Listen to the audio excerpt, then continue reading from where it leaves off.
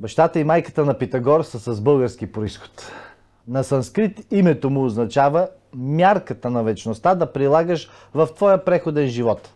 Здравейте, българи! Аз съм Иван Тренев. Започваме поредната беседа от национално значение.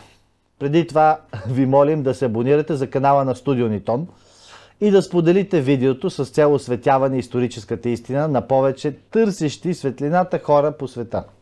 Гор означава не само гора, а Загорие. Свещеното място там, където боговете създават всичко, включително и нас. След странствената си в Египет, Финикия и Вавилон, Питагор не отива да живее в Гърция или в родния си град на остров Самос, а отива в Южна Италия, в град Кротон, който е бил повече етруски, т.е. древно български, отколкото каквато и да е друга колония. И това не е случайно. Ето какво посочва авторът Божидар Динко в своя научен труд Пелазгите, една загадка на Балканите и Егеида.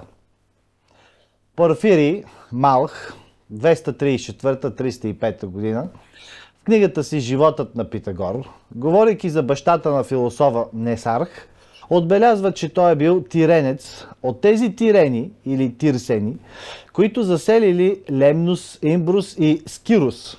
Тези острови били заселени с пелазги от Тракия, т.е. антични българи от Тракия. Той произхождал от Самос, където е бил роден и Питагор. В Самос се намирало едно от главните светилища на Хера Самоска или Пелазгийската Хера, което подсказва за съществуването на древен пелазгийски етнически слой. В биографичните си бележки за Питагор Диоген Лаерци посочва Самос за роден град на философа и той бил завладян от атиняните, след като изгонили оттам тирените, а Херодот от него знаем, че Самос участвал в съюза на 12-те юнийски градове, сред които е имало и част от пелазгите, подчертавам отново, антични българи. Самос се е считал и отличавал от другите градове с особеното си наречие. Името Самос, което има пелазгийски происход, както вече бе отбелязано, ни дава едно научно доказателство, за да приемем, че един от първите обитатели на острова са били точно пелазгите тирени, отново скоби антични българи. Пак според Диоген Лаерцки, Питагор имал двама братя – Евном и Тирен. Вероятно наречен така според родния град на баща му, град Тир в Сирия. Някога островите покрай западното крайбрежие на Мала Азия са били населени с пелазги, антични българи, а по времето на румейския император Лъв III между 710 и 734 година била извършена административна реформа, според която морската област, включваща Егейските острови покрай западното крайбрежие на Малазия, била наречена Егеос – или Пелазгус. И до тогава още се е помнела и съхранявала традицията за пелазгийския етнос в Егеида, т.е. антично български етнос. Помнили са и думите на Херодот, цитирам, островитяните и те били пелазгийски народ, който по-късно бил наречен юнийски, по същата причина, както и пела... преселниците от Атина, жителите на 12-те юнийски градове.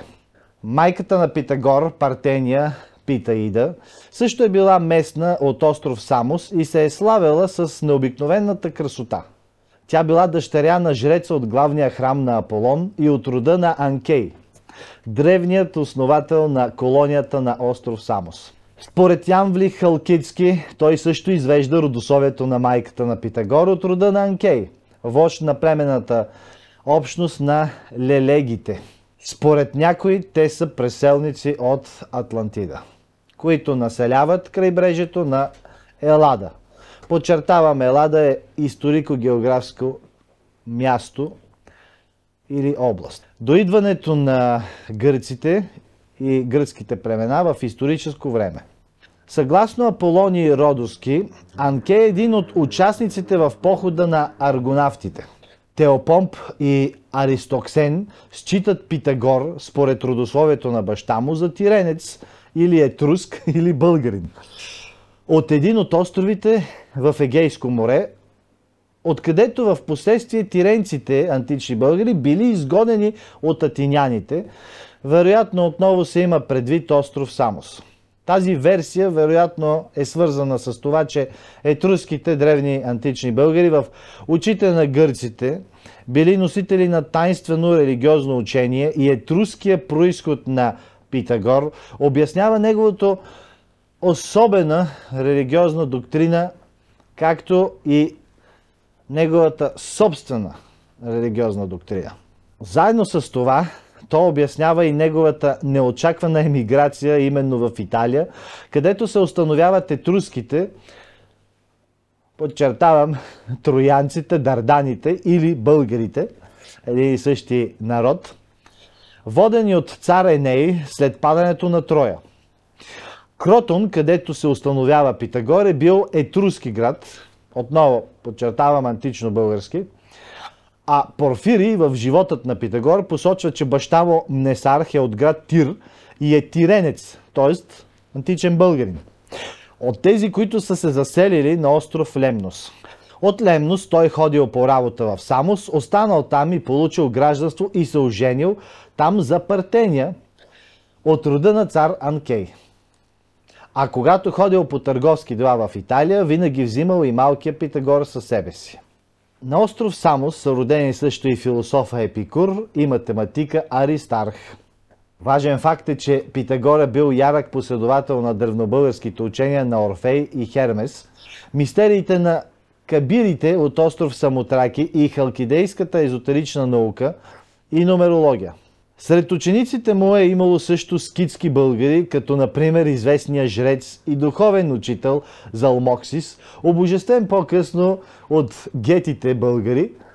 Именно от него тръгва традицията в Северна България за учелническите и мистични практики в светилищата, пещерите и скалните манастири, което по-късно преминава и в православното християнство, школата на Исихазма – така става ясно, че великият философ и математик, който гърците си приписват най-нагло, че е грък или какъвто и да е друг, се оказват неверни, а всъщност Питагор е пелазгийски, древно-български. Античните автори и традицията са ни оставили ясни сведения, че пред гръцкото население на днешната Гърция, в това число и прилежащите острови, са били древният автохтонен народ на пелазгите, а именно античните българи и техните родственици, които също са автохтонни, като тези народи не са изчезнали, както им се иска на някои историци днес.